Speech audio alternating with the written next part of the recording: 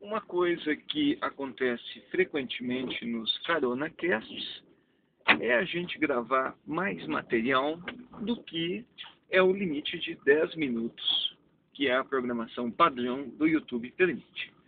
Como resultado, há vários momentos em que se tem dois programas, dois Carona Casts, onde haveria apenas espaço para um ser veiculado. Resultado, nós temos alguns capítulos, algumas sobras.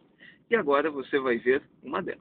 Continuamos. O, o marido e esposa do Jalen tem uma coisa que o Jalen nessa época, que é bem a época, é o primeiro filme acho que sai logo depois que ele se separa da, Sim, da Mia sim, Farrow. sim, ele não é? embruxou a Mia Farrow, inclusive. Ela nunca esteve tão feia que nem naquele filme. É verdade. Alguns filmes antes, assim, simplesmente Alice, ela tá adorável. Adorável, adorável. É. Inclusive E- como sinônimo de bondade. Exatamente, exatamente. Ela vai lá no fim do filme vai trabalhar com a mãe Teresa de Calcutá, É, né? é, é, e, Daí- e é interessante que no Marido e Esposa tem, talvez seja, o Jalen gosta muito desse filme e ele diz que é o filme mais- um dos filmes mais incompreendidos dele, porque ele diz que toda aquela câmera acaba na realidade reverberando os aspectos psicológicos do personagem. É. E o filme, já a primeira cena, já que nós estávamos em banca sobre a primeira cena, é a própria representação da neurose, que um casal chega e vai, fala que vai se separar, e aí eles estão saindo para jantar fora, e a, e a minha Farrell e o Woody Allen, que são, é o casal que recepciona, ela diz, não, não, não pode jantar fora, imagina, vocês estão se separando, sério, se separaram tão bem.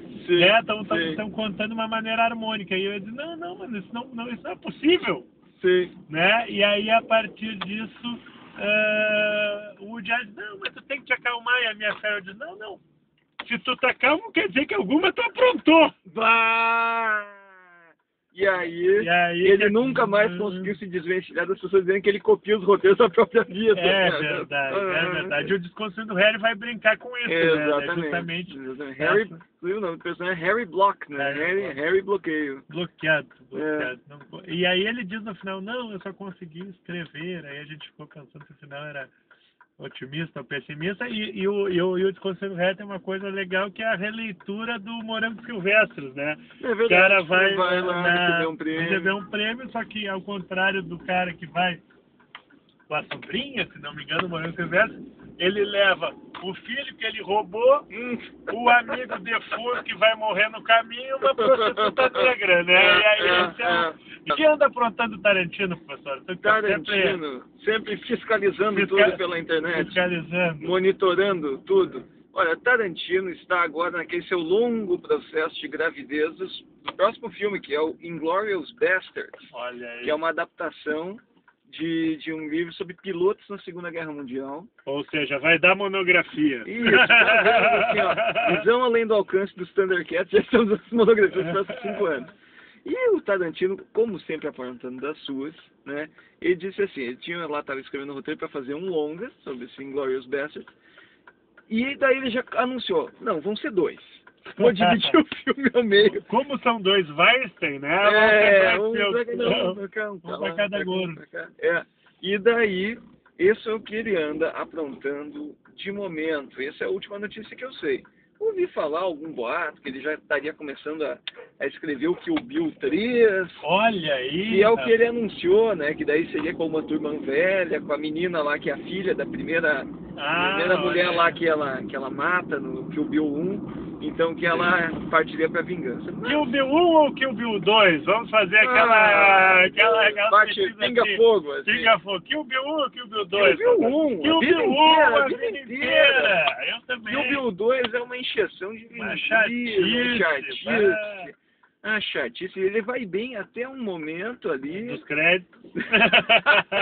não, não, ele tem, né? Não, tem ali até um momento que ela briga com a Daryl Hannah, mais ou menos até ali o filme ainda tem lá o seu valor. Cobras na mala. Isso, isso, isso. Michael Madsen, sempre papuçado. Aquele É. cara que. Ô, bochecha larga. Ah, não, mas o bom momento é o, é o Kill Bill 1. E eu, eu atribuo essa, essa predominância a uma coisa muito. Além de ser, de eu ficar muito frustrado com aquela conversalhada fiada Ah, toda lá na de casa Deus, do Bill, tá. quando, na verdade a gente deveria estar vendo, era o pau comendo. É, di- di- discussão de relação, Tarantino. Você É. não tem talento pra isso, filho. Você não Exatamente. pra isso. Você sabe fazer as pessoas se matando, né? É. E daí, o que que acontece? Além disso, não, não apenas isso, ah, quem leu lá o Apocalipse Integrados, Humberto Eco, tem lá o ensaio do Superman, já viu aquela conversa fiada toda, que o, ele te chupou direto dali. Então chega lá e ele começa, oh, porque, na verdade, o Superman se disfarça de Clark Kent. Alô, professora Berratti. Daí, porque na verdade o Superman se disfarça de Clark Kent, não o contrário. E daí, quem não leu, olha, diz como o Tarantino é brilhante. Como Não, ele é. percebeu isso? Eu não li e ao mesmo tempo achei ruim. É chato. Mas aquela cena lá no dojo, lá, É, não, no não. Kill Bill 1 é sensacional. ah, o Kill Bill 1 é Não, é fantástico. tudo Kill de bom. 1. É que o Kill Bill 1 tem uma coisa que o Tarantino também faz muito bem lá no Pulp Fiction, né? Que é uma cena vai emendando na outra e vai É, trazendo é. e não baixa, não baixa. É, o não baixa. todo lá em cima. É. Né? E de repente no No 2. no 2 a coisa já fica um pouco mais. É. né, E, mais no, e no, no último dele lá, o, o prova de morte. a prova de morte. O que, que tu achou, Fabiano? Cara, eu vou te confessar que não vi. É mesmo? Porque ainda não, não chegou ao circuito em que pede ter DVDs rolando, eu ainda sou um utopista do grande ecrã. Né? É, é... Você Eu sabe como transformar o computador num grande ecrã? Como? Senta bem pertinho. Ah, pensei ganhando na loto. Também, Cara, também, é- também. Um jeito mais barato é sentar bem pertinho. e aí eu sei que eu não vi, mas eu ainda tô. Não, vimos um trechinho. Vimos um trechinho, vi trechos, como diria meu amigo. É. Né? É. então é isso, é isso. O Tarantino, estamos aguardando, É.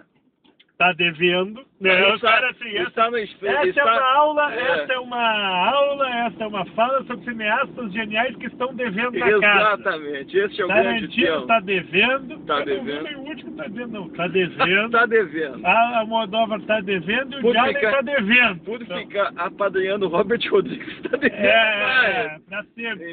O Jalen pelo menos não apadrinha ninguém. sabe? É, Porque, é, é. Aquele último filme do Jalen, nossa, que é uma coisa horrível aquilo. Não gostou do Cassandra? Não, não, pelo amor de Deus. O cara chega assim, olha, pega o que sobrou do match point. É, não, ele é meio assim, chama- pega as tomadas que sobraram É, no match point é, chama dois bonitinhos lá, pelo amor de Deus. É verdade. Eu achei uma chatice. Estamos chegando perto, não? Estamos chegando perto, o odor já se avizinha, né? As papilas gustativas se se animam, animam e os enzimas já e iniciam a já produção. começam a digestão. Mas é isso aí, três cineastas que estão devendo e é bom pagar logo. É. é isso aí, é isso aí. é isso aí. Ok, então vamos encerrar por aqui. Vamos Alguma última mensagem? Senão a gente já corta aqui e já manda Não, não, que bom é o filme do Sidney Lumet, que está estreando essa semana. Antes que o diabo saiba que você está morto. É verdade, diz que a trama é parecida com o do filme do Jalen, em compensação, bem feita. É um bom filme. É um bom- é um bom filme do Sidney Lumet. É um bom filme. Daquele famoso É. diretor mais conhecido por tudo que. por seu livro. Como fazer filmes, não é do Exatamente. filme. Que é Exatamente. bastante. Tem uma. É aqui na esquina, Roberto. Que tem, como tu disse hoje, uma amplitude bastante modesta, vamos dizer assim, mas dentro disso está ótimo.